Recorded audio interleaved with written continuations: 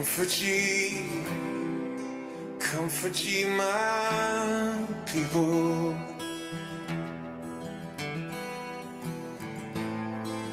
Comfort ye, comfort ye, my people.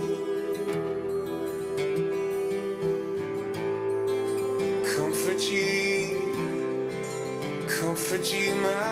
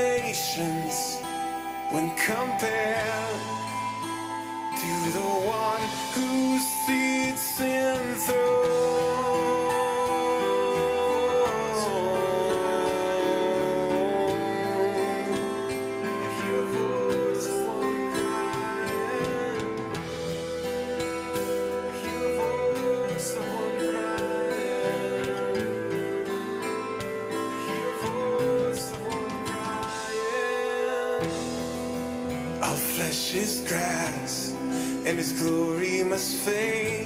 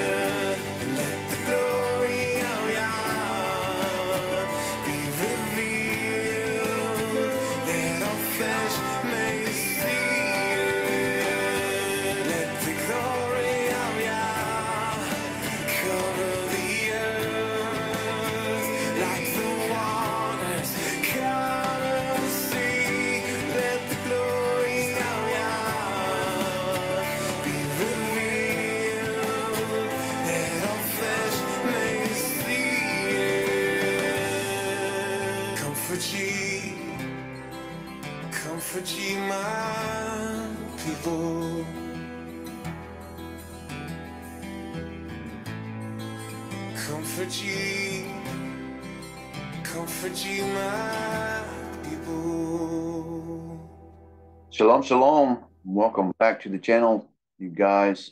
Let me just a, a second to get this set. Shalom. I, I wanted to get a video out to you by Saturday, you guys, but um, I was working with bees all day Friday and they tore me up. I had a little bit of bee fever Saturday morning, so I was sweating and running a fever. Got stung in the head several times, one under my eye right there. Swelling's gone down, swelling's gone down in my hand, so I'm a little better today, and now I can get something out.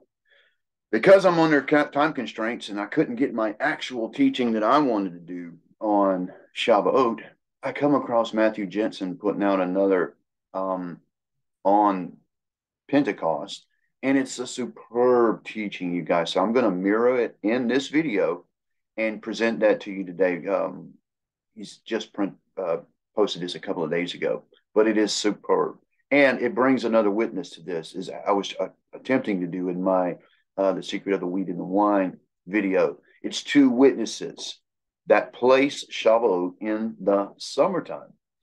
Here's Matthew Janzen with a, like I said, an excellent presentation on when uh, Pentecost has fully come. And I'm going to tag along in this video with you because he he misspeaks a couple of times in this video. It's not serious. Not, I think it's um, he misspeaks. He um, maybe misinformed. But overall, it's a superb teaching. So let's get right into that. And again, I'm going to ride along with you. And when there is a discrepancy in his present, presentation, I'm going to interject at that point and point out um, um, how I understand it. So hang tight. Let me get that started for you. And we will go from there, you guys. Excellent presentation. You got to stay for this.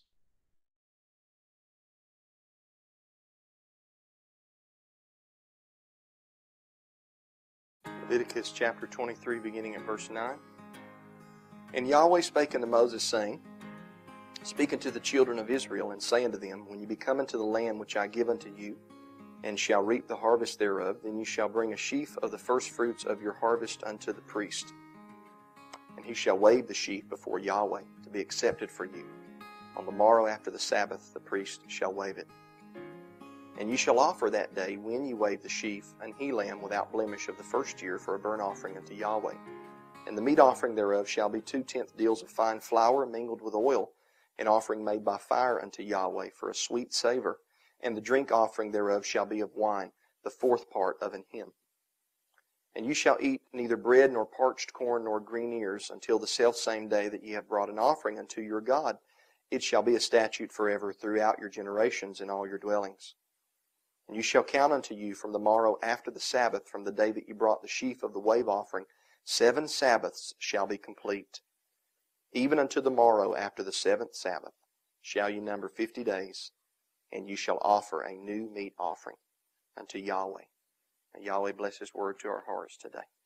We're going to make this the last part in our study on the Feast of Weeks, which in Hebrew is Shavuot and in Greek is Pentecost. Once again, Shavuot deals with the Hebrew weeks. Pentecost is, stems from the Greek word pente, which means five or fifty. That's Pentecost. What we're going to do is just jump right in where we left off in the last sermon. Exhibit E, we went through A, B, C, D, and now we're at E, so it's the fifth one, is going to be Nehemiah 13, verse 15, and Joel chapter 2, verses 23 through 24. Let's look first at Nehemiah 13, verse 15. I'm reading out of the King James Version. It says this In those days saw I in Judah some treading wine presses on the Sabbath, and bringing in sheaves, and ladding donkeys, as also wine, grapes, and figs, and all manner of burdens, which they brought into Jerusalem on the Sabbath day. And I testified against them in the day wherein they sold victuals. The reason I bring up this text is twofold. I want you to first see that the text speaks of Israel, the Israelites, bringing in sheaves. And we should remember that the I just want to mention right here, just so there's no confusion, because we are waving sheaves at the barley harvest during Passover, do not confuse the bringing in the sheaves in Nehemiah when it's talking about wine and grapes and figs as barley. Barley is not harvested in the summertime. It's done by Shavuot. It's completed. So at Shavuot time, the sheaves that are bringing in to be threshed are wheat. So let's just right off the bat get that clear. the Feast of Pentecost is one in which the first fruits of the wheat harvest is offered to the Almighty. Uh, we read in Leviticus 23 9 through 11 about how the priest waves the sheaf of the first fruits of the what? The barley. Okay? That's at Passover time, the morrow after the Sabbath. And then we see in Leviticus 23 15 through 17 about another first fruit offering. That's the first fruit of the wheat harvest. Barley is harvested in the spring. Wheat is harvested in the summer. Uh, In Nehemiah 13, verse 15, it, And it's not sheaves that we are waving at this time. These sheaves that are bring, being brought in are being threshed and it's being uh, processed and milled into flour, which will be made into loaves, which is what we are waving at that point. So if you didn't wave any loaves at Pentecost, you did it wrong. It's not about just observing the day the way you want to or the way the Christians do, but what does Leviticus 23 really say? Okay, so let's be really clear here. We're not waving sheaves, we're waving loaves. And to get to loaves, you have to get a crop that is completely ready to be harvested and or, or part of it's ready to be harvested and made into flour. So let's be clear. it speaks of bringing in sheaves, which is a reference to freshly harvested grain. Uh, you've heard the old song, We Shall Come Rejoicing, Bringing in the Sheaves. That's a natural song, obviously, about harvesting wheat. It's a spiritual song about the sheaves of souls, you know, the harvest of, of man, harvest of people, okay? And by the way, this is what Yeshua was citing in John 4 when he says, Don't you say that there's still four months until harvest? And then they look over to the field and it looks like grass. They clearly understand he's not talking about the wheat, but what does wheat represent in the Bible? It represents people. He's talking about the people at that point and making an absurd, uh, absurd observation of the wheat field that takes four months to grow. Uh, That song speaks about being joyful about the grain harvest, and the spiritual understanding would be being joyful about the harvest of souls. So the significance to this is that at the time of bringing in these sheaves, there were also those in Judah that were treading the wine presses. Now, they were doing it in Nehemiah 13, 15 on the Sabbath day. Uh, What does the law say? Even in harvest time, you shall rest, right, on the Sabbath. So what they were doing should not be done on the Sabbath.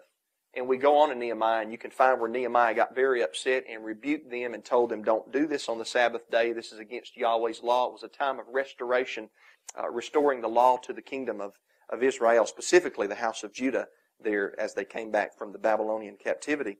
Uh, but the point I want to make is what was taking place. I know it was wrong to do this on the Sabbath, but what was taking place was not only the bringing in of the sheaves, which is a reference to beginning a harvest, but also to treading wine presses.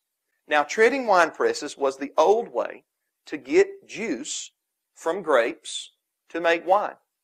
They still use this old method in some places in the world.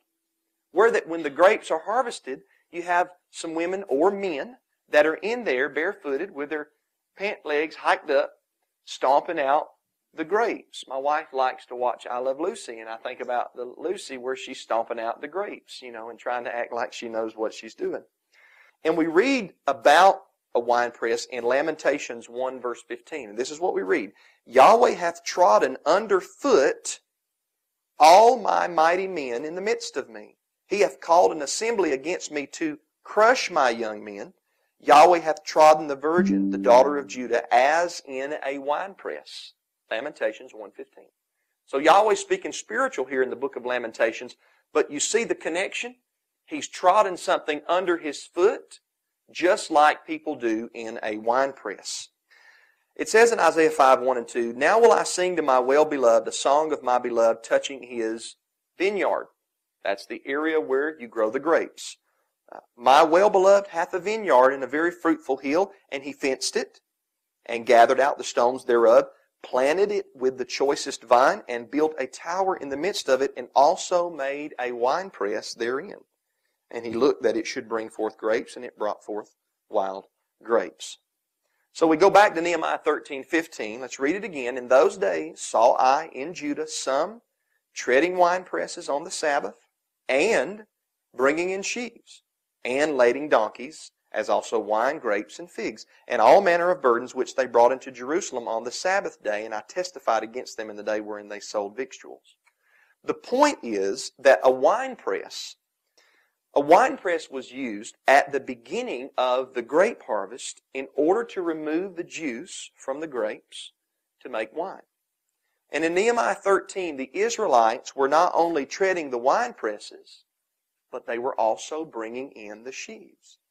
And the only way that this could be possible was if the wheat harvest being spoken of in Nehemiah 13 was late in the fourth month, scriptural month, or early in the fifth month. See, in the land of Israel, the grapes or the grape harvest is just not taking place early in the third month. It doesn't happen. You do not have people treading wine presses in the first week of the third month, where traditionally people celebrate the day of Pentecost or the This is why it's important to bring this second witness because I can get where people will dispute and argue about the the growth cycle of wheat until they're blue in the face, not knowing that they're completely wrong. But you cannot argue with a second witness let a thing be established with two or more witnesses. Let this be established in your heart, you guys, that it is impossible to have both wine and grapes in the third month at Pentecost time on the Christian and some Hebrew calendars. It has to be in the summer when this is all taking place. Again, take into consideration this second witness, you guys. That's the importance of the wine. The Feast of Weeks, Shavuot.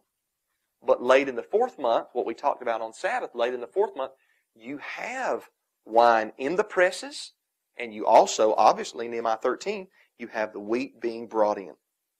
So, early third month on the scriptural calendar this particular year that we're in would have been the end of May, beginning of June on the Gregorian calendar. The grape harvest, which mind you is an annual harvest, once you put the grapevines up, right, it's not something you replant every year like you would wheat. It's something that comes back every year, all right?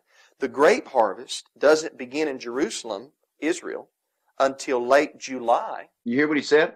The grapes come back every year at the same time. You know why?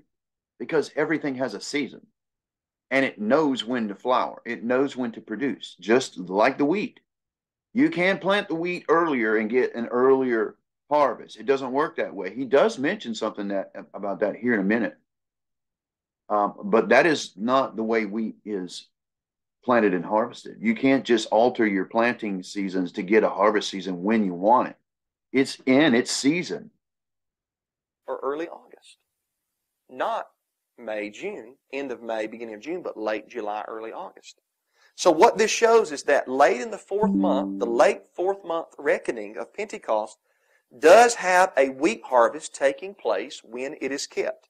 Uh, this type of wheat is planted early in the spring, and according to the USDA, the uh, Department of Agriculture, it's harvested late in the summer in approximately 100 to 120 days. Okay, this is one of the places where he misspeaks right here. If you think about what he just said, it takes 120 days to get wheat. It's planted in the spring. If it's harvested in late summer, that's more than 120 days. It's winter wheat that's harvested at 240 days in late summer. Spring wheat is harvested early It's the first wheat in the two types that are harvested in the summer. It's early summer. It only takes four months. So at the time that Yeshua and John uh, is talking about the harvest, is still four months to come. It's right at Passover. And in my last video, we established that because he's at the wedding, and the wedding is like ten days when he turns the wine to um, the water to wine, new wine. It's right at the last of the season, right? At, we're coming into the new year at Passover time. So how is there any um, new wine at the end of the year? It's impossible. So this is part of the miracle. It's not just that Yeshua turned water to wine. The other part of that miracle, it even because his miracles are are multifaceted. You understand? It wasn't just that he turned water to wine, but also that it was the best wine, the sweet wine, the new wine. That was also the miracle. When does this happen? You see it again in Acts 2. Okay. Now, there does exist another type of wheat called winter wheat that's planted late fall, early winter, and is harvested early spring. That is incorrect. That's incorrect. Winter wheat, you can Google it. Ask Siri, how long does it take to grow winter wheat? It's 240 days, exactly twice as long as the spring wheat. I love my brother, and I humbly, humbly submit that it's very possible that he's misspeaking or he's misinformed here. It is, in fact, spring wheat that's harvested early summer and winter wheat that is harvested late summer. Okay? That's winter wheat's what it's called. This wheat that Nehemiah 13 is talking about is called spring wheat. It's planted early spring and it's harvested in the summer, mid to late summer. That has to be the wheat that Nehemiah 13 Again, it's not harvested in late summer. That would be more than four months, brother. It's 120 days. So at, at right before Passover time, it's being planted. So early spring and then early summer is when it's harvested. It's only four months. And it is, in fact, the grain that Yeshua was talking about. is talking about because when they were bringing in the sheaves, we shall come rejoicing, bringing in the sheaves, remember, they were also treading wine presses. The beginning of the grape harvest had taken place. So there does exist a wheat that is planted in the fall and harvested in the spring, but that is certainly not the wheat that Nehemiah 13 is referencing. So we have a wheat harvest taking place at the same time that Aaron proclaimed the Chag, the feast. That's the bottom line. It's irrelevant that he makes a mistake on which kind of wheat it is. Um, Chris did the same thing, calling it su- summer wheat. There's no such thing as summer wheat. No such thing as summer wheat. It's spring and winter, and they're both harvested in the summer. East in Exodus 32 5. The same time the 3,000 souls were destroyed, right? The same time at the end of the 40 day fast of Moses, we have a wheat harvest taking place according to the scriptures at that time. Joel 2 23 through 24 is the other scripture in this exhibit that we're in right now. It says this Be glad then, ye children of Zion, and rejoice in Yahweh your God, for he hath given you the former rain moderately and he will cause to come down for you the rain, the former rain, and the latter rain in the first month, and the floors shall be full of wheat, and the vats shall overflow with wine and oil. Guys, I just want to take a second. Well, we're going to pause from that. I want to take you over to the threshing floor in Nazareth about five years ago. Just as a random video I put in threshing floors of ancient Israel. Pulled up the first video, but you know, I don't have a dog in in this fight, right? It- it- it- this this guy's independent of me. But look at the date. Look at the date here, August twenty fourth, twenty seventeen. August, and it's the threshing floor. Okay, so so you don't see any videos of the threshing floor in May. None. Just wanted to add this caveat, you guys. Um, then let's get back to the teaching. because it parallels the text in Nehemiah 13. In this regard, we have number one, floors full of wheat. That's threshing floors. Anybody remember when I taught through the book of Ruth? I talked about the whole wheat harvest there, mentions the barley and the wheat.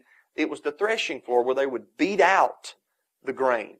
And then they would have these fans or at least two openings where wind would blow through and it would blow away the chaff because it was lighter than the wheat. The wheat would fall, the chaff would blow out. That's the threshing floor. This, once again, comes right after you bring the sheaves in. So it's the beginning of a harvest. And in Joel 2, we have floors, threshing floors, full of wheat. And then we have two vats, that is the trough into which the juice drains when you press the grapes there with your feet. We have them overflowing with wine and oil. Now, this is just not possible early in the third scriptural month when most feast keepers celebrate Pentecost.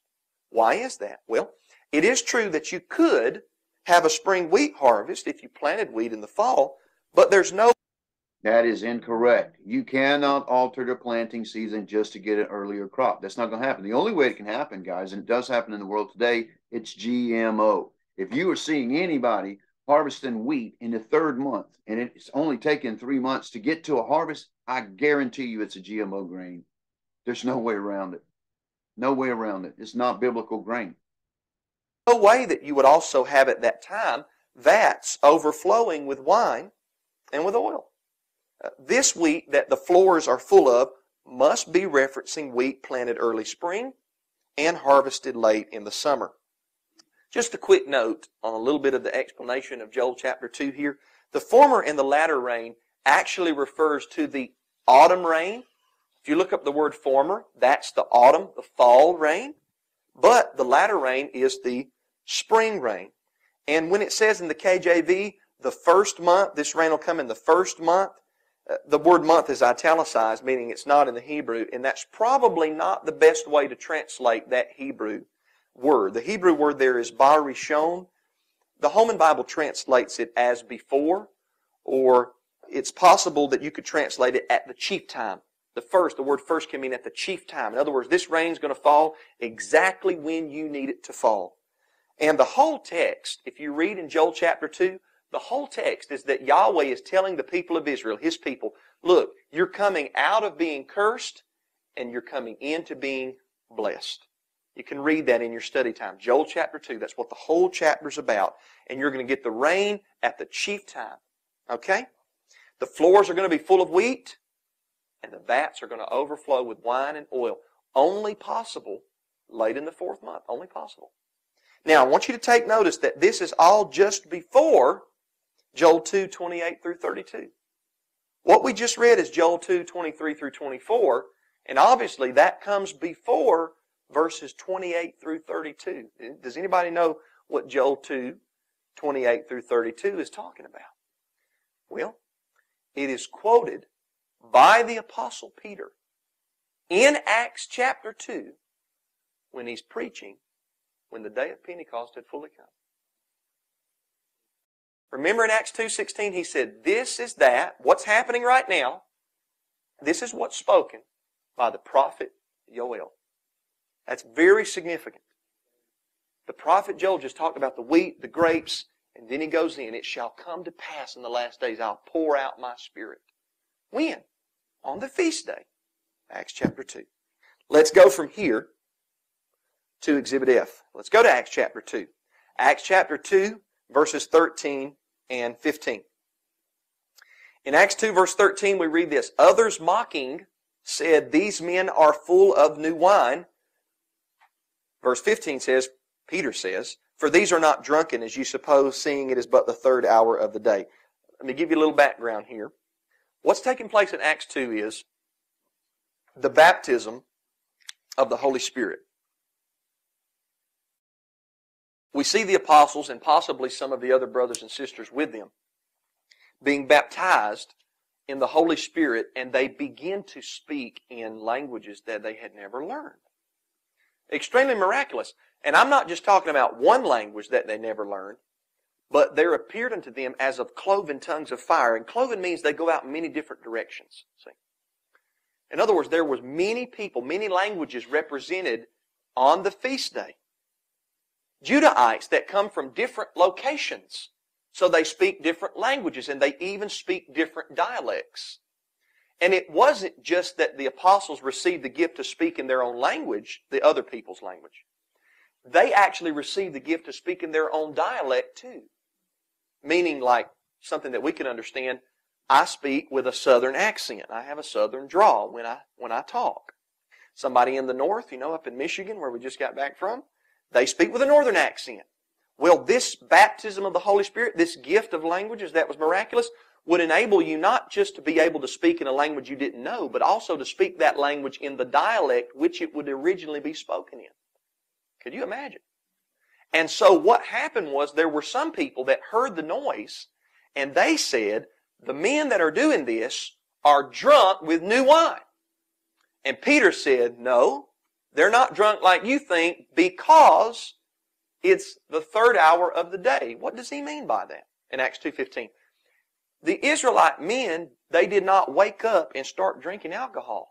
What does the Bible say about the man that rises up and hits the bottle?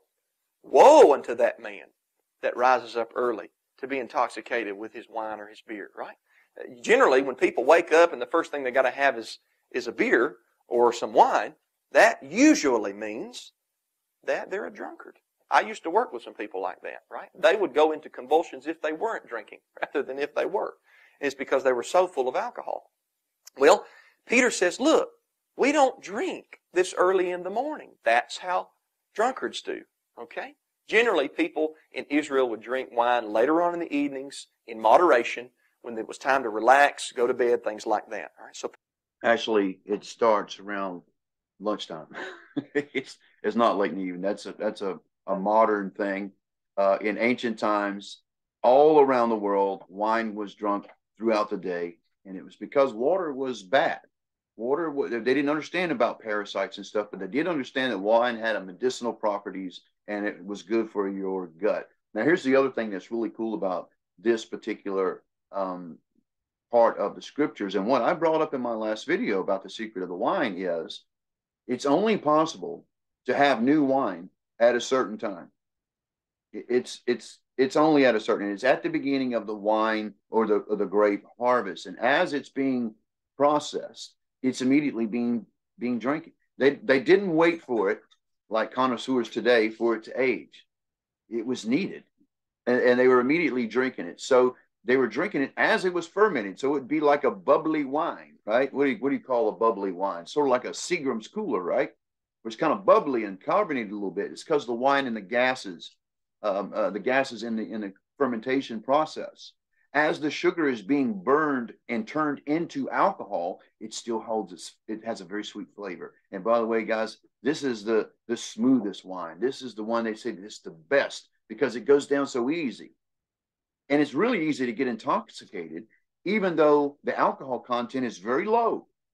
He misspeaks in just a moment and says it's a very high, but that's not the case. It's a very low alcohol content and it's very sweet, and people tend to drink more of it. When it's a high concentration of alcohol and more of a bitter aftertones to it, you tend to drink less. Does that make sense? So he has it backwards when he brings that in, and that's just another trivial uh, point that he, he he misspoke on. Peter gives a rebuttal. These men are not drunk. These are men of Israel. These are these are Judahite men. You know better than that. So how much sense, though, think about this. Remember, it's the day of Pentecost, right? Acts 2 1. It had fully come. How much sense would it make for these people that made the accusation to make it if it was not naturally possible? That's exactly my point. And by the way, I appreciate Matthew pointing this out because uh, he did this video in, in 2012 originally. I didn't learn this information from, from, from him but the information came to me through him as a second witness. The, the, the fact that they're taught that they're being accused of drinking new wine and being drunk on it must mean they were in the time period of new wine because it would be, you know, what's the point in uh, accusing them of being drunk on new wine if it wasn't even possible? You, you'd sound foolish making that statement to someone, right? So it's clearly in the time of, of the new wine, right? and that is in a specific point. It's not in the third month. It's it's late in the fourth month. It's actually the the new moon of the fourth month going into the fifth month. That this period is. In other words, in the third month, Sivan, the month of Sivan, the first week of the third month, there is no new wine in Jerusalem. No new wine. The grape vintage has not even begun. The grape vintage, the early vintage, there's an early vintage, as Brother Arnold has taught me. Early vintage and there's a late vintage. The early vintage of the grapes in Jerusalem, Israel, what we would think of in the Gregorian calendar, late July, August, the late vintage September, maybe pushing into October, eh, over into tabernacles, things like that. Okay. So tell me, how was there new wine in the upper room if it's only 50 days in the third month? You got a problem there. But there's no grape, there's no new wine, no grape harvest at all early in the third month. How much sense would it make for these men to say they're drunk on new wine if it wasn't possible for them to be drunk on new wine? Now, I want you to notice Adam Clarke's commentary on Acts 2.13. He says this, these men are Now this is really interesting how he brings this. This is another witness I didn't even even consider, but he's bringing someone who's trying to reconcile it from the other end. And notice what he ha- what happens here on on his methodology and what he actually proves. full of new wine. He says, quote, rather sweet wine for glucose, and glucose is the Greek word for new wine, cannot You also know that glucose means sugar in English, right? New wine has sugar in it and it's still burning off and, and turning into alcohol. So it's sweet, much like a wine cooler from Seagram's. Little bubbly because it's still fermenting. not mean the, the must, as there could be none in Judea so early as Pentecost. End of quote. Adam Clarke is saying, look, Pentecost, because he's got in his mind that it's early in the third month, right? He's saying, well, this must be a mistranslation. This must mean something else besides new wine, because there's no new wine. So the guy, because he believes that wheat is harvested in the third month, believes there's a mistranslation in Acts 2 because it's impossible to have wine in the third month, new wine. So you see how he's coming from the other end? So that's technically a third witness, unbeknownst to me, that's proving the same point, you guys. You cannot have it in the third month. There's something going on here.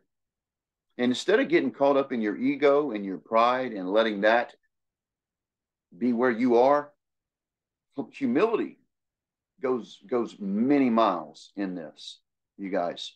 I had to do the same thing when I realized that I was teaching a preacher of rapture that was not biblical, you guys. You know how how much it took uh, for me to let go of my ego and my pride and come on YouTube and admit to you that I was wrong.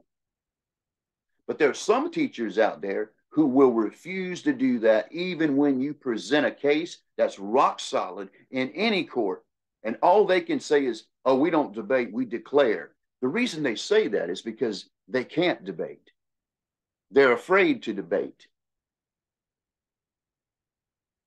They're afraid to debate because they can't. They cannot get around the scriptures. That early, as early as Pentecost, when I think it's kept, Adam Clarke is saying. It's not possible. Notice John Gill's comments on Acts 2.13. These men are full of new wine. He says, quote, the Syriac version adds, and are drunk.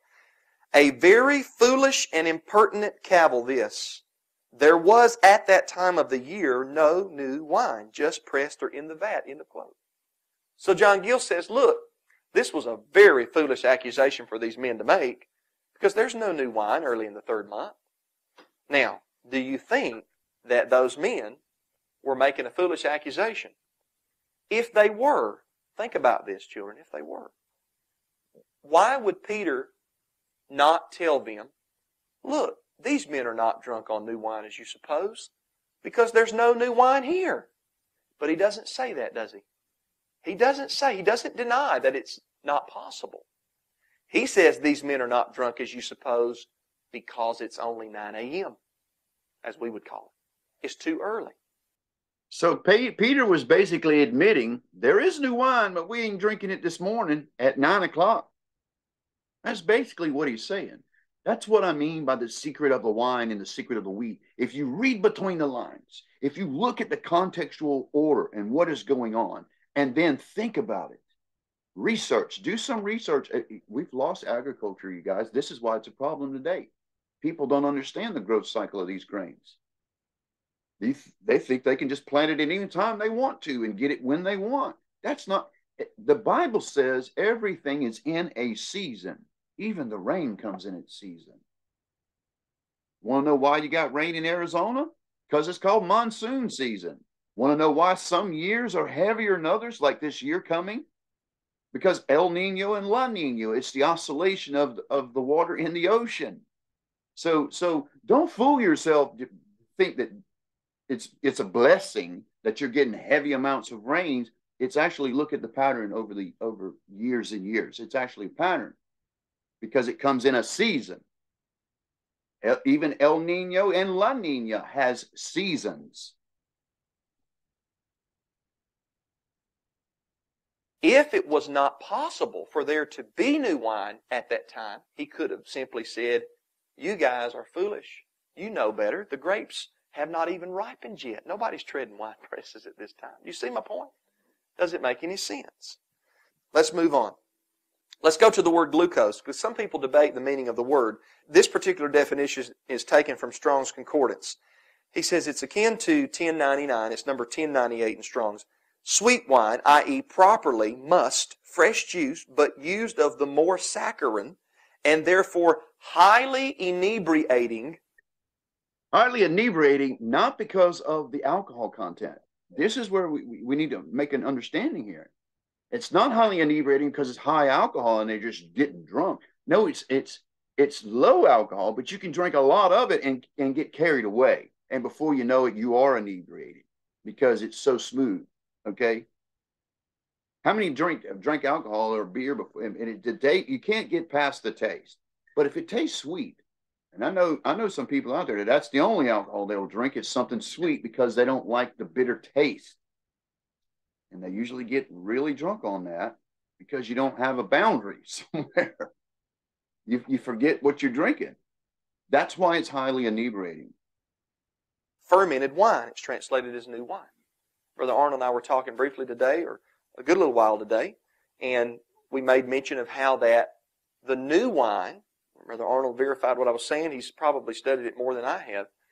The new wine, the, the fresh wine that is taken straight from the grapes because of the yeast that's on the skin of the grapes, it's the most intoxicating. Now, it's not necessarily the best, as Brother Arnold brought to my attention in Luke 5, where the Messiah was teaching, and he said, Look, once people have gotten the taste of the old wine, they don't want to go back to the new wine because the old is better. That's that's he's got that backwards. It's the new one that's better. It's easier to drink, and you can drink more of it. It's not high in alcohol content. You don't start off with a high alcohol content and then it goes down. It builds up as it ferments. So that's that's logic. That's how it is easier to drink and, it, and it's sweeter. Once you get to the to you know fully fermented, it's no longer sweet wine. Now it has bitter aftertones. Maybe has some flavors from the barrel or the jar or however it was stored, the wineskin. It will start taking on some of the tannins from uh, wherever it was stored.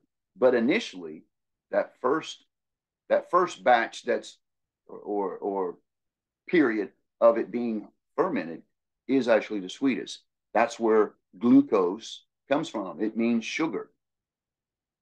But the new wine is the more inebriating or intoxicating of the wine. That makes sense, doesn't it? Because the men said they're drunk on new wine. Remember, they heard him speak in all these languages? They're drunk on new wine. Why would they say new wine? Because it's highly inebriating, it's highly intoxicating. Okay? Now, the problem is with this word, or the apparent problem, is that this is the only time the word glucose is used in the entire New Testament. When we're studying the Bible, one of the best ways to understand the meaning of a word deeper is to look at all of the places that the word is used in Scripture. And so we look up the word glucose and we hope that we find maybe 15 or 20 more references to the word in the New Testament. But you know what? You click on it there on my computer program and it pulls up Acts 2.13, the only use of the word in the entire New Testament. And so I wonder, well, how are we going to further validate the meaning of this word? I found when I opened up my Thayer's Greek lexicon that it referred me to Job 32 verse 19. Now you say Job 32 verse 19 is a Hebrew scripture, Brother Matthew. That is true. But it referred me to Job 32, 19 in the Greek Septuagint. which is the Greek translation of the Old Testament. Now, I'll get to that in a second. First, we want to read it from the KJV, which is based on the Hebrew Masoretic text. It says in Job 32, 19, "Behold, my belly is as wine which hath no vent; it is ready to burst like new bottles." The man that actually says this is a man named Elihu. He was one of the four men that came to visit Job, but he was the youngest of the four men. And he, in honor of the older men, allowed the three older men, he allowed them to speak to Job first. And he waited his turn in honor of the old age of those men. But he had to wait so long. I mean, we're already in the 32nd chapter of Job and you read about all what these three men had said. And when it finally got his turn to speak, and he was upset at what the three men had told Job, and Elihu was probably the wisest of all four when you read what he said. He said, My belly is like wine that has no vent. I've been sitting here waiting for my turn, and I've had to wait through three different men, and they've been talking a lot. My belly feels like wine that doesn't have a vent. It's ready to burst like new bottles or like new wineskin. No, it's actually as new wineskins. There were no bottles. I need to point this out. There were no bottles in the time of Job. It's very ancient times. Bottle. You can research this. Bottles weren't used until much later, more than more than you know, almost you know, fifteen hundred years, thousand years, something like that. It, bottles were not used. It was wineskins, and this has been a this has been a translation problem before. New bottles. It's really new wineskins. Right? They weren't worried if it in in modern times are they worried about new bottles bursting after they've been sealed? No, they're not. It's aging, and it it tends to keep its uh, its um, characteristics. Wineskins, on the other hand, where it, it can expand like a balloon, right, can rupture, and that's why it has a vent on it. Now, the Holman Christian Standard Bible translates this word wine as unvented wine. Same thing as KJV wine, which has no vent. And what this seems like to me is a reference to new wine being placed into a wineskin with no vent. See, you have to have a vent to some degree on the wineskin so that the gases caused by fermentation can free themselves little by little else the skin may burst and the wine goes everywhere. Now we know the parable of the garment and the wine skins. No man puts new wine into old wineskins. Why? Because they're more worn out. But they put new wine into new wineskins. Why? Because of the elasticity. They have the ability to stretch. They're not worn out. They're new. However, even if you put new wine into a new wineskin, you have to allow it to be vented, or else the gases will expand the wineskin to a certain point where it too will bust because the gases cannot bubble out little by little when the fermentation is taking place. So, this Hebrew word for wine is the word yayin, and in Strong's Exhaustive Concordance, it is from an unused root meaning to effervesce, wine as fermented, by implication, intoxication. It's translated in the KJV as. You know, you guys know what effervesce means? It means bubbly. It's carbonated. It's, it's got, I mean, it's got some some bubbles behind it. So it's a little kind of, it's like a Seagram's cooler. Like I just said, it's easier to drink. It's sweeter because it's still fermenting. It has that effervescence in it. Banqueting wine or wine bibber. It's definitely a word that refers to fermented alcoholic beverages. But I want you to notice how the Greek Septuagint translates this verse. In Job 32:19 in the Greek Septuagint, Elihu says, "And my belly is as a skin of sweet wine." You know what that word is? Glucose. Same word as in Acts 2:13. He says it's bound up and ready to burst. I think that there can be no doubt that the reference that Elihu makes to glucose in Job is to new wine. He's talking about this fresh wine that's come into the trough and it's placed into a new wineskin, but his belly's like putting that wine into a wineskin and not giving it a vent. the gases are bubbling, the fermentation gases are bubbling, and it's expanding, and it's expanding, and it's expanding. And, and eventually, you have the wineskin burst, and the wine is ruined, and the skin is ruined, etc., etc. This is how Elihu felt. And so if Pentecost was celebrated early in the third month in Acts chapter 2, this doesn't make sense. Acts 2.13 doesn't make sense. But if it's celebrated late in the fourth month, it makes complete sense. Makes perfect sense. The accusation, these men are drunk on new wine. And I think there's a reason why Yahuwah did not have it say, and 10 days later, after Yeshua ascended to heaven, they were in the upper room. It doesn't say that. But you imply that in your beliefs because you're holding to a 50 day count. But when it says, it says when it was fully come, now it's open to the truth. Yahuwah made it ambiguous. He made it obscure for a reason because the very first one was defiled by Aaron and the people at the mount with the golden calf. And you Yahuwah hid it ever since that day. That's the thesis I'm going on, you guys. There has to be a reason why Yahuwah hid it. It's obvious that he did. He's just like this persona of Jesus Christ that we get that comes in front of our Yeshua. The Catholic Church throws us a, a feint with this Jesus Christ persona. And I'm, t- I, listen, don't get upset with me. I am talking about the two different personas we see in the Messiah the Catholic Church version and the historical version of Yeshua HaMashiach, the Jewish man they call Jesus. It's two different people. Just like I have pointed out, Pentecost and Shavuot are two different things. Pentecost cannot be Shavuot because it does not fit the requirements of Shavuot. It's inserted. They left it obscure with a with a an obscure translation. Why why a Greek word in the English right here? Why not use the English word Shavuot or the Hebrew word in English Shavuot in the um, what do you call it? Not analog, but um, analytic. Not even. I can't even think of the word now. But anyway, they use the word Pentecost. They don't have to do that. Why not just say it was the Feast of Weeks? Why not just say Shavuot? Why Pentecost and, and fixate us on this 50 thing? It's a feint. It's meant to confuse. And I believe Yahuwah wanted it that way. But here's the thing the, the disciples and, and, and Yeshua himself at that time had no problem with understanding this. They knew the cycle because he has not been had not been changed yet. That the, the calendar had not been changed until Constantine, you guys, at 322. This is 322 years after Yeshua.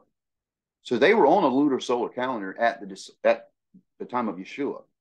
It was an agricultural calendar. And that's what they were on. Peter doesn't say, You guys are crazy. There's no grape harvest yet. No, he says, No, it's too early in the morning. So let's move on to Exhibit G. I think this will be the last of them. John 4, verse 35. In John 4, verse 35, our Savior says, Say not ye, there are yet four months, and then cometh the harvest. And that's the King James Version. In the New American Standard Bible, he says, Do you not say there are yet four months, and then comes the harvest? Now, I want to read John chapter 4, beginning at verse 31. In the mean, while his disciples prayed him, urged him, asked him, saying, Master, eat. But he said unto them, I have meat to eat that ye know not of. Verse 33. Therefore said the disciples one to another, Hath any man brought him aught to eat? Yeshua saith unto them, My meat is to do the will of him that sent me and to finish his work. Verse 35 Say not ye, There are yet four months, and then cometh the harvest? Behold, I say unto you, Lift up your eyes and look on the field. And, and let's be really clear here. Uh, what, what Yeshua say in context. He's saying this at the beginning of the barley harvest. Go and look at it. It's, it's very clear. This is in the spring early spring, just after the, the wheat has been planted, the spring wheat has been planted, it takes four months to get a harvest. And so by the time that Yeshua was saying this, if there would have been a field nearby and they could just look over, it would look like grass. It would be about four to six inches tall. and that's a fact. And so it's absurd observation, Yeshua saying, because he's clearly not talking about the wheat ready to be harvested. And he's sure not talking about barley because we're talking about a different grain. This takes four months to harvest. And the period that he says that clearly puts barley out of the run for the grain he's speaking about. Another point. Fields, for they are white, already to harvest. And he that reapeth receiveth wages, and gathereth fruit unto life eternal, that both he that soweth and he that reapeth may rejoice together. And herein is that saying true one soweth, and another reapeth. I sent you to reap that whereon ye bestowed no labor. Other men labored, and ye are entered into their labors. So there is no doubt in this. Clearly talking about men and clearly talking about the kingdom work, not talking about wheat at that point. Text that our Messiah, the Son of Yahweh, is speaking spiritually here, but he's using something natural in order to get across a spiritual meaning. So in verse 35, it begins in the King James Version with say not ye. And I'm reading out of the 1611, so it might even be a little bit different than your King James Bible if, you, if you've got one there. The HCSB, the Holman Christian Standard Bible, translates this like this. Don't you say, question mark? The New American Standard Bible translates it, do you not say, question mark? The point is this. Yeshua is not telling them something they don't say when he says, say not ye. It's an interrogative. It's a question. Isn't this a common saying? Don't you guys say this? Question. In other words, of course you do. And he is telling them something they readily understand in the natural, something they know in the natural, in order to show them something in the spiritual. So, it is readily acknowledged that both the barley and the wheat that can be planted in the fall and harvested in the spring takes about seven months to harvest. But what grain is Yeshua talking about here? He does mention it being white for harvest in verse 35. Now, Albert Barnes, in his commentary on this text, says this quote, Grain, when ripe, turns from a green to a yellow or light color, indicating that it is time to reap it. And if we see this next picture I've got on the screen of the harvest ready wheat, what we see is that it does have a light yellow to white color. This is the time when you harvest the wheat.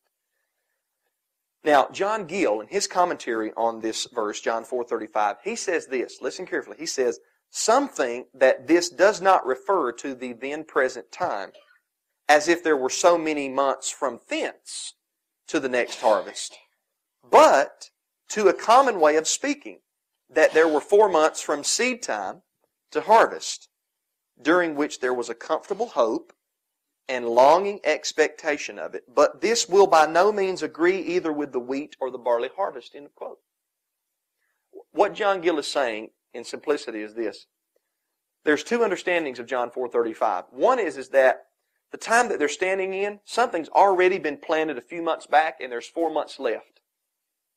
Another understanding is this, is that Yeshua was giving them a common proverb that they knew. Don't you guys say there are yet four months and then comes the harvest? In other words, isn't that something that's common to you? You plant and four months later you harvest? And I think that's what he's. I just want to point out here that it's impossible to be something else that was planted so many times, so much further, and there's only four months left. Because, as I pointed out, in the timing of the, the, the wedding and the timing of John 4, when Yeshua says what he says, we are at Passover time. What's happening at Passover time? It's the beginning of the barley harvest. Okay, we're waving sheaves of barley. Wheat has nothing to do with, there's no wheat to be reckoned in that time. It's just been planted. And it hasn't been planted months before that, and, and we only got four months later. Uh, that would have been winter wheat planted into winter, and we we got 240 days. How many how many months is 120 days for spring wheat? You think Yeshua was talking about anything other than spring wheat at this point? No, he's not talking about something else that was planted a couple of months before and we only got four months left. No, he is speaking specifically of the spring wheat, you guys.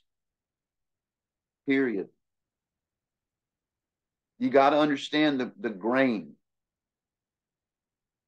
And please, if you do not understand the grain, stop making YouTube videos about it and trying to and, and trying to confuse the people and contradict what I'm telling you. I've put many, many hours, many hours, three years of, of research into this subject. And I grew up much of my life around agriculture. I may not be an expert, you guys, and I'm I'm I'm not correct all the time in everything, but I've got a pretty good grasp on this. I got a pretty good understanding on this, and I know it's impossible to have new wine and wheat in the third month. What's going on? Saying, I do. It's something that's common. That, that's the point. Something you understand, I'm going to teach you something spiritual by it. Okay? John Gill doesn't think that that's the case. Why? Because the barley that's planted in the fall and the wheat that's planted in the fall or, or early winter takes seven months to harvest. If he understood about spring wheat that's planted early spring and harvested in the summer, he would recognize that it took four months to harvest. Uh, Brother Arnold mentioned or reminded me today of a passage, I believe it's in John chapter 12, where Yeshua the Messiah likened himself to a grain of wheat that died and then produced a harvest later on down into the future. Well, we know that when our Savior died, it was at what time of the year? It's the springtime or what feast? Passover, unleavened bread, right? He died on the 14th day of Abib or the 14th day of Aviv. Well, if you calculate from there, four months, you come to the end of the fourth month, not the beginning of the third month. The harvest of souls, the spiritual harvest, took place on Acts chapter 2, Pentecost. He likened himself to a grain of wheat that died. And how many months does it take to produce a harvest from a grain that dies in the ground and then produces? Four months. Not three or two and a half, but four. I think that's important. I do. I also think it's important you can study. And again, you guys, kudos to Matthew. I mean, there, there are a couple of things that I disagree, obviously, with in this presentation, but otherwise, it's superb.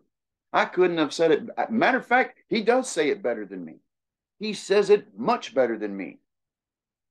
But here you are, another witness. You got. I might be crude and and whatever in my presentation, and and and, and, and you know, it may be that I'm lazy and I don't, you know, edit and put in all these, you know, graphics, but I don't have a time constraints, you guys. I got a lot going on. I'm now working with bees again, and and I could barely get this teaching out because of the time constraints. So I'm grateful for Matthew and his teaching. I can I can springboard off of this and use him as a witness. He's presenting the same information to you guys. Please, I am imploring, begging some of you Zadok people to let go of your pride and your and your ego and research this and take a look at it. Come on and debate me. I would love for Peter Michael Martinez or um, what's his name? Um, Tamar, uh, um, the guy that looks like Colonel Sanders. I can't think of his name, but you know who you are. Come and debate me. Let's talk about it. Let's hammer this thing out. But you guys won't do that. You want to continue with your, your absurd teachings and your absurd uh, declarations of when the, the Shabbat is and when, like Yeshua was on a Saturday Shabbat. Don't you know during the time of Yeshua, there was an eight day week and Saturday was not the day you think it is today? How is that reconciled? How do you reconcile that? Because that's exactly what the Zadok calendar is. It's basically a glorified Gregorian. That's all it is because you're keeping a Saturday Shabbat just like Judah. You're no different. No different. You're just as, as deceived as Judah. Study this in your in your study time. Just try to follow along with me here on this next point. But if you look at the timetable beginning in John chapter 2 and follow it through to John 4, it looks as if Yeshua is speaking John 4 during the time of unleavened bread or the time of Passover. In John chapter 2, it mentions there was a feast of the Judahites, and it calls it Passover slash Feast of Unleavened Bread. In John chapter 7, we have John chapter 2, Passover. In John chapter 7, it mentions the Feast of Tabernacles. In John chapter 5, it mentions a feast of the Judahites, but it doesn't name the feast. Scholars debate what feast that is talking about. John 5, verse 1, it talks about the feast of the Judahites. Some say Passover, some say Pentecost. It makes sense that it would be Pentecost because Passover is mentioned in John 2, Tabernacles, John 7, which one's in the middle? Pentecost. Well, did you know that in John 5, at that feast of the Judahites, that was the story or the account of the man that had been lame for 38 years. And the angel would come down and stir up the pool there at Bethesda. But he didn't have anybody to pick him up and put him into the pool. But one day the Savior passed by and he didn't need to be put in the pool. the Savior touched him and he was healed 38 years. And it says that day was the Sabbath day. If that is the Feast of Pentecost, which is very likely, it says it fell on the Sabbath day. The traditional third month Pentecost falls on the day after the seventh Sabbath, not on the Sabbath. The one that's calculated in the fourth month falls on either the Sabbath, or as we'll see here shortly, or the day of the new moon, the fifth new moon. So I think that if you can put all that together, know that's a lot of information. I think what we're seeing is, is that there is much information and evidence that is heavy in favor of the later Pentecost than there is of the earlier one. So let's recap. Point number one in Exodus 19, verse 1, it shows that Israel came to the wilderness of Sinai in the middle of the third month, either the 15th or 16th day of the third month. Number two, in Exodus 24, 12, 31, 18, and Deuteronomy 9, 11, they all show that the law was given to Moses at the end of his 40 days in the mount. Not at the beginning. Not at the beginning of the third month, but at the end of his 40 days in the mount when he was fasting, not eating any food, or the Bible says, not drinking any water. It was very miraculous. Uh, point number three, Exodus 32, verse 5, Aaron, the high priest, who was commanded to proclaim the Chags, the feasts, he proclaims this Chag late in the fourth month, not early in the third month. As a matter of fact, you will find no place in Scripture where the word Chag is related to anything in the third month. But here we do find it related to the fourth month, the word Chag. And it just so happens that it's 50 days after the seventh Sabbath when counting from the 16th of Abib. Point number four, Exodus 32, verse 38. That's another typo by me. Acts 2, verse 41. These parallel with 3,000 souls. Remember the very first Pentecost that was ever kept? 3,000 souls were destroyed. Take your sword, kill your family. They didn't want to come to Yahweh's side. The first Pentecost after Yeshua went to heaven. 3,000 souls were saved. The one in Exodus, the law was written on tablets of stone. The one in Acts 2, the law was written on the tables of the heart. You see the parallels? There comes a time, Brother Arnold likes to say, when coincidences stop and facts begin. Point number five, there does exist a wheat harvest in Scripture that takes place when the grapes are being tread and even the olive harvest begins, the early olive harvest. And I would encourage you that if you get a chance to talk to Brother Arnold, you need to do so because he can go into a lot more than I can as it pertains to the wheat harvest in the Bible. Point number six, Acts 2.13 and Job 32.19 show that there was new wine available at Pentecost in Acts chapter 2. It's not possible in early in the third month, but it is late in the fourth, early fifth. And point number seven, John 4.35 has Yeshua mentioning a grain that is white, ready for harvest in four months. This must be spring wheat harvested in the summer. So let me go through some final thoughts here before please take into consideration the level of biblical truth that was just proven to you with scripture. And we didn't have to go outside the Bible not one time. I am so tired of hearing people cite Jubilees like it's scripture. Guys, it's fun to read. It's really cool to glean from. But to set doctrine and to hold it over scripture is foolishness. Stop doing that. Stop bringing me Jubilees because there's 28 contradictions. A book contradicts itself and it contradicts the Bible. That would be, listen, it would be like me taking the Talmud and disproving the New Testament. That's abs- absurd that is. Okay, you you can't do that. You shouldn't do that. And you'll never see me. We can read it, and I love reading Enoch, even though I think Enoch two and three is is tampered with. But you got to know this: not one example, complete example of jubilees was found in Qumran. All they have ever found are fragments. No completed uh, editions of, of of jubilees. Go research that. There are no intact jubilees that come out of Qumran. So stop saying it's the Qumran, it's what they had in Qumran. And that they were Zadoks over there. No, they weren't. You will not find that name anywhere. I mean, the word means righteous, but yeah, there were many righteous men in that time, but they, they, there was not a sect called the Zadokim. No, there was not. It is a made up name here in the end days. And it's really funny to me how their Shabbat coincides with the Hillel calendar and, and Judah. Even though they might celebrate their feast differently, they're still keeping the Shabbat on Saturday, you guys.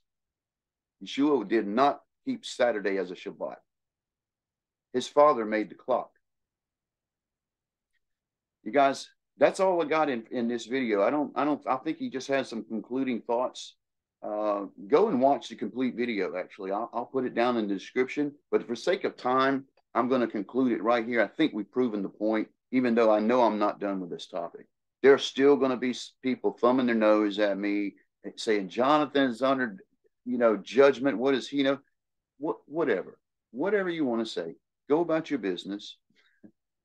But I'm not going to stop teaching this because I know the importance. I know the importance. The reason why the Spirit was poured out in the in the upper room at this time is because they had the day right and they were in one mind and one accord. That's not going to happen again until we get to that point. And you guys, I got to be co- quite frank with. I cannot see the Hebrew groups coming in unity. I can't see it. It would truly be a miracle for Yahuwah to unite the basically five or six ways I've seen the Shabbat being kept, the feast being kept, and all of these groups are called Hebrews because it's not Christians. You got we're not talking about Christians at all. That's not who who is going to pour out his spirit on. When he talks about all flesh, that's in the Hebrew camp. He's not talking about all flesh like the wicked too. Don't misunderstand what, what King James is telling you there. He's he's talking about Israel, all flesh in Israel. Hebrews that are not the state of Israel. Again, don't misunderstand. I know I've got some people that the state of it. No, we are Israel. Hebrews, the diaspora that's in the world, the crossed over. That word means to cross over. Does not mean Jew. Okay, so got to get it right with some of the, the terms, some of the terminology, the understanding, the Hebraic understanding, the agricultural um, uh, understanding of the Bible. Otherwise, you're going to come away with a completely left field understanding of what Scripture is actually saying, you guys. And Yahuwah obviously allowed this to happen. He allowed his name to be obscured. He allowed that his feast would be hidden. He allowed that the Shabbat would be tampered with. He's revealing that in the last days for a reason. You got that last day remnant is special. He's gonna he's he's gonna do amazing things through the remnant. Keep your head up. Shalom to you. You guys, Shavuot is still to come. It's next new moon. So we still got about a roughly about a month before Shavuot time, the true Shavuot. And if you celebrated Pentecost, observe that day as well. If you don't do anything but wave a couple of loaves and say, Thank you, Father, what is it going to hurt you? It won't. I guarantee you it's a special day. And you hit it for a reason. That's why there's no moon. Shalom to you. May Yahuwah bless you. Make his face shine upon you and keep you safe. See you next video.